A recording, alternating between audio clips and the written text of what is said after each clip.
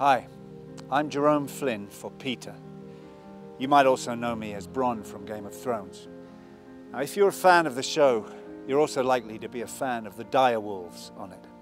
Sadly, their popularity has sparked an alarming trend. More and more huskies are being bred and bought because of their resemblance to dire wolves. I am here today to urge you not to give in to this temptation. While people may have good intentions, acquiring dogs on a whim has dire consequences. Animal shelters around the world are reporting a surge in the number of abandoned huskies because the casual acquirer, drawn to the dog's appearance, failed to take into consideration the amount of time, patience, and money required to care for these animals properly. Breeding contributes to a very urgent animal overpopulation crisis, one that can be remedied by refusing to buy from breeders or pet shops.